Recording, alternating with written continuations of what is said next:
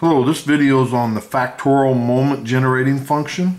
We call it eta of x of t, and it's for a random variable or vector x. Um, it's defined as eta of t is the expected value of t to the x, where t is a real number, and this is assuming that this exists.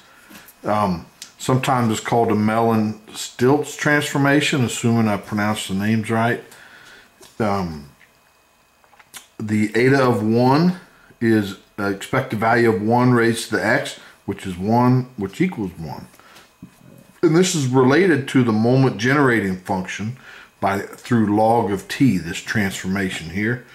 Um, and if you take this definition and take derivatives of the, the uh, factorial moment generating function, it's this, and then assuming we can pass the derivative through the integral sign or the expectation, then we get this. And the derivative of t to the x becomes this, where this last uh, is t to the x minus n. So this is what's often called a falling factorial, or, you know, and hence we'll call it a factorial moment. Um, if we evaluate the nth derivative at t, this piece here is a 1 and it goes away. And we're left with the uh, factor, the nth factorial moment. And it's, and it's called the nth factorial moment because there's n terms. There's 1, 2, all the way to n terms. Um, now, primarily, this is useful in discrete distributions, not continuous, but I'll give an example of how to calculate it in the normal setting but it's again it's not as useful in the in the in the continuous setting. Um, how, how we use this is is when we're calculating the variance, which is this is the standard formula here. But if we calculate the second factorial moment and then add e to the x expected value, that's equivalent to this. And this and this piece here is often much much easier to calculate than the than the the second moment of a discrete distribution. And then of course we take the you know minus the expected value quantity squared. Um, so what this means is if um, if we take the second derivative of the factorial moment generating function or second derivative of eta um, this piece right here is this one. And then the first derivative evaluated at t is this, and of course the first derivative evaluated at t equals 1, t equals 1 squared. And so this is how we're calculating the variance. And then I just wanted to point out, I think I have an, another video where I talk about falling factorials or rising factorials is the same thing. And there's not a standard notation. Sometimes it's written like this, Sometimes it's written with the x to the n with a bar under it, and it just means it's a falling factorial, which is defined like this. Rising factorial, the bar would be on top. But So let's go through an example. Here we have a binomial distribution. x goes from 0 to n, and the uh, eta of t is the expected value of t to the x. So we put in t to the x and and then times the probability of x, sum over all possible values. Um, well, this we can we can combine the t and the and the p raised to the x, and then this is just a binomial expansion of this quantity here. So this is the uh, factorial moment generating function.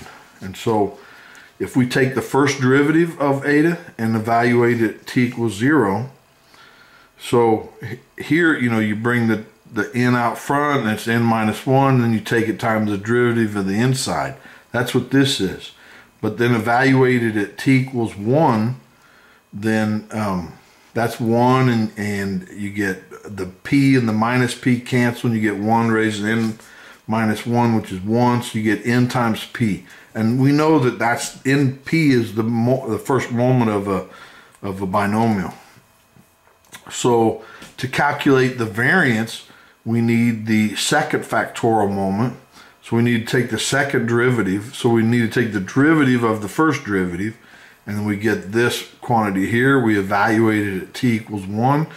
We get n times n minus 1 p squared. So to calculate the variance, we take the uh, second moment, or the second derivative of the factorial moment generating function, and then this is the plus the first moment, and then minus the mean squared, we get this, which uh, is this, and then reduces to this, which is NPQ, which we know as the variance of a binomial distribution. So that's how it's used in a discrete distribution. Now, um, what is not known, and I could not find this in the internet anywhere, to, and nor have I seen it, but I thought I'd, I'd add this just to show that it does work for the continuous case, but it's again not used as much. Just the moment generating function or the characteristic function is much more used in the continuous setting versus the um, factorial moment generating function. But let's assume we have a normal distribution and we find the factorial moment generating function is defined like this. So it says stick in t to the x times the probability of x. So instead of just t to the x, I raise it, uh, I take the log and then take the e of it. So remember this x could act, technically be t to the x, but since it's log, we take it out front. And I do that because now we have e on both, and then we can combine that. So what we do is we multiply by minus 2 sigma squared divided by 2 sigma squared so we get a like denominator here. When we add those, it breaks down to this. And I squared that to get x squared minus 2 mu x plus um, mu squared. So what we'll do is we'll complete the square with this. So this uh, mu squared will kind of fall away and then we add and subtract the well-chosen zero and it boils down to this. So this is the, the function after we complete the square and then this is the piece that's kind of left over that's a constant in regards to x. And so this is a normal distribution, x minus some mean divided you know by uh, minus 2 sigma squared, you know, the appropriate normalizing constant.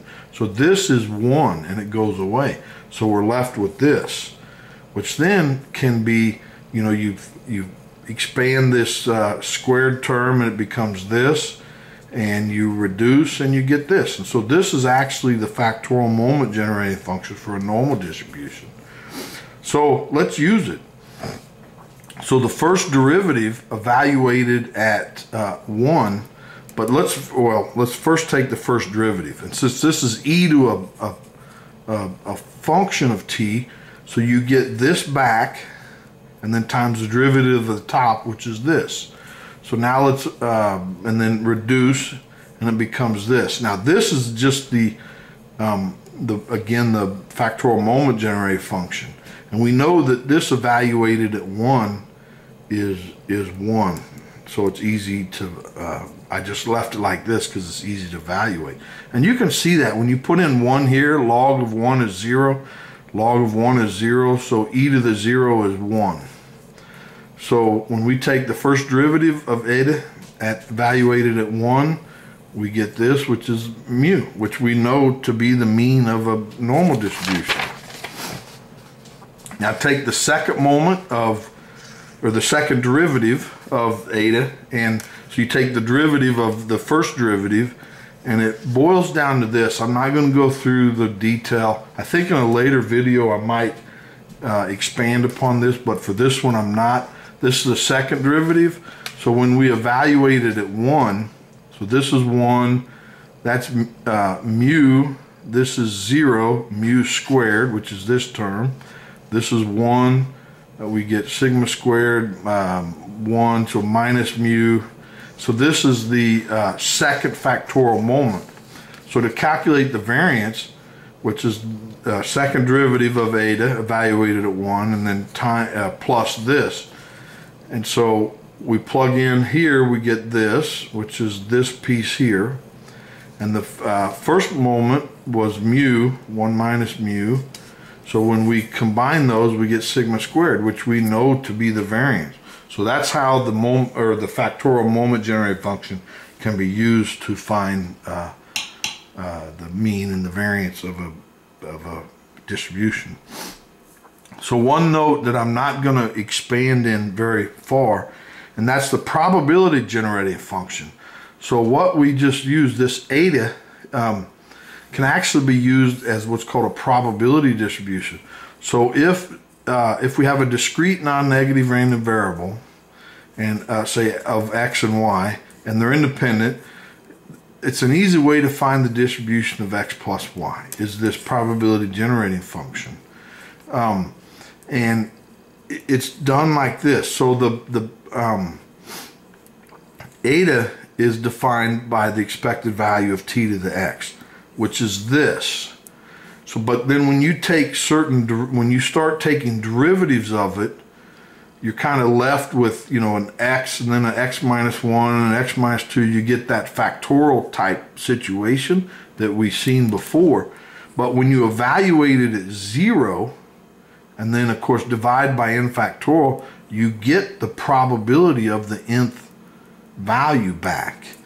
And um, anyway, so that's really all I'm going to say about the probability generating function. But eta can be used to find factorial moments or the actual probability of an event happening. And uh, well, that's all I have for today. Um, if you liked it, please like it and subscribe so you don't miss the next one. The next video will be on the joint characteristic functions. And that's it. See you then. Thanks. Bye.